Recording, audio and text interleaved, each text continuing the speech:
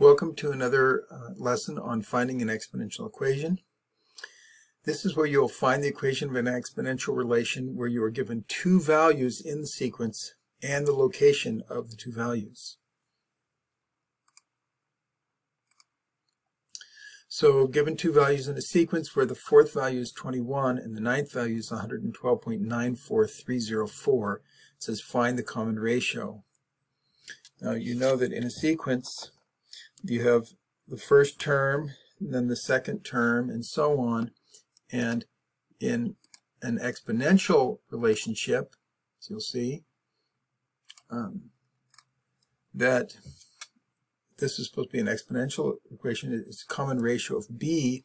Remember that the first term is then multiplied by b to get the second term, and so on. And so each term is a multiplication of b by the previous term. So by the time you get to the fourth term, you've taken this first term, we'll call it p sub 0. You've multiplied by b once, then by b again, then by b again, and then by b again. So you've multiplied by four times before you get to p sub 4, the fourth term. And then by the time you get to the ninth term, 4, there's the fifth, the sixth, the seventh, the eighth, the ninth. To get to the ninth term, you've got to multiply by b 1, 2, 3, 4, 5 times. So notice you've got the ninth term minus four, fourth term, you multiply by b five times, which means the, the ninth term is the fourth term times b to the fifth power.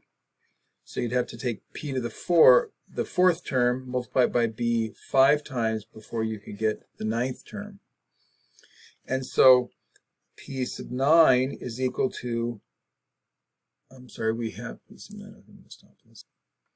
Hi and welcome to another video on finding an exponential equation. We're going to find the equation of an exponential relationship where you are given two values in the sequence and the locations of the two values. So given two values in a sequence where the fourth value is 21 and the ninth value is 112.943404, it says find the common ratio. So you know if it's the fourth term, in a sequence. First, second, third, fourth term is 21, and then the ninth term, the fifth, sixth, seventh, eighth, ninth term is 112.94304. That means the common ratio is what you'd have to multiply 21 by. One time you'd have to go multiply by b one, two, three, four, five times. That means from the fifth term, the ninth term back to the fourth term, that is five times you have to multiply b by. So that means the ninth term is the fourth terms times b, the common ratio 5 multiplied 5 times or to the fifth power. So the p sub 9 is 112.94304. P sub 4 is 21. And that's multiplied by to be the fifth. So you just multiply by 21. So you could have just started by taking that ninth term and dividing it by the fourth term. Now that would be b to the fifth power. So how do we solve that? Is we have to take this 112.94304 divided by 21, whatever that is, and we'll have to take both of those and raise them to the to undo the fifth power, we raise to the one-fifth power. And so we're going to want our calculator for this. So we're going to take 112.94304 time, uh, divided by the 21. I'll go ahead and get an answer for that I need that to be in parentheses really, and I'll raise that to the 1 5th power. Now I can raise that to the 1 divided by 5, and you know that that's the same as to the 0.25 also. You don't have, or 0.2, 1 fifth is 0.2, so you can raise to the 0.2 power also. So that is 1.4 is our common ratio. B is equal to 1.4. And now to find the explicit formula for the sequence, remember the formula is of the form um, P sub 0. So I'm going to erase this, give myself a little room.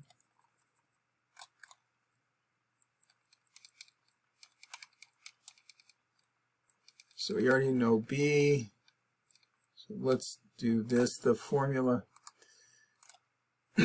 here is uh, P sub n is equal to P sub 0, the initial value, times B to the n power.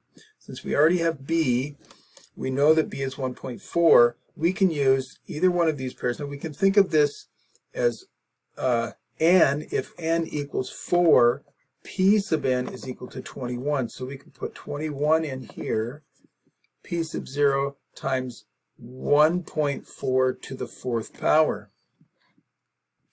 And that gives us, if you want to solve for p sub 0, we divide both sides by 1.4 to the fourth power. And again, we'll use our calculator for that. We'll take 21 and divide it by 1.4 to the fourth power. And that gives me 5.46647. Now, I'm going to, typically I'm going to round that off a little bit. So P sub 0 is 1 point, oops, I lost my number, one, uh, 5.4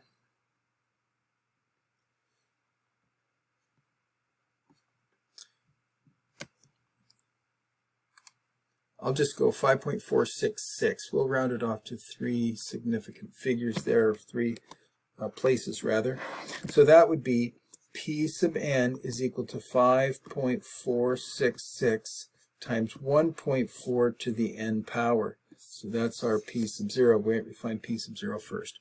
So that's if you round it to the nearest thousandth.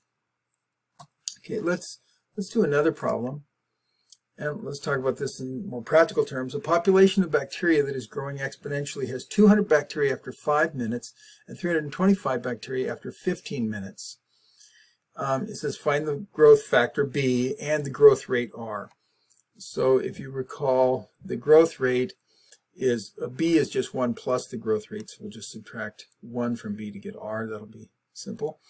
So here we can also think of this as a sequence. The fifth, the fifth term that is, you could think of this as 5 is the location and 200 is the population, and then 15 is the location and 325 is the population.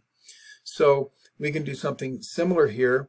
If you had the fifth term, that means we could say the 325, this has to be multiplied, right? 200, you got to go all the way up to 325, if this is the fifth term and this is the 15th term, then that's 10 times you have to multiply by the growth factor B.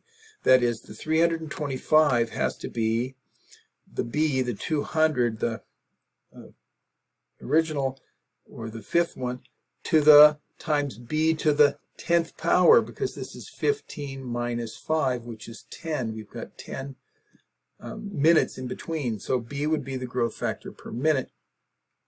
So we divide both sides by 200, and we get B to the 10th is equal to 325 divided by 200, but you can do that on your calculator pretty quickly. And that turns out to be 1.625. So how do we solve for B? Well, in that case, we're going to take the 1 10th power of both of those. And of course, with one tenth, you can use, you can call that 0.1 if you'd like, and I'll do that on my calculator. 1.625, 0.625 to the, instead of putting in one tenth, I'll put in the decimal equivalent, which is 0.1, and that gives us B is approximately 1.0, I'll put that back up there again so you can see that, 1.049748, but I'm going to round that to 1.05 because that's so close to that, 1.05, and that's uh, because this is a practical problem, we'll round off anyway. So B is approximately 1.05. So if B is approximately 1.05, then R is B minus 1, so it's just 0.05 or approximately 5%, right? That's what R is, approximately 5%. That means it's growing at about 5% per minute because these are in minutes. So this is our growth factor, 1.05. So now we don't have the original. Again, we need our p sub 0. But you remember the formula is p sub n is equal to p sub 0 times b to the n power. We know b is 1.05. And we don't know p sub 0, but we do know we have, if n is 5, p sub n is 200, or if n is 15, p sub n could be 325. In either case, we'll put our p sub n, remember, this is our p sub n, and this is our n, is here, and this is to the fifth power. And so now we'll just divide both sides by 1.05 to the fifth power.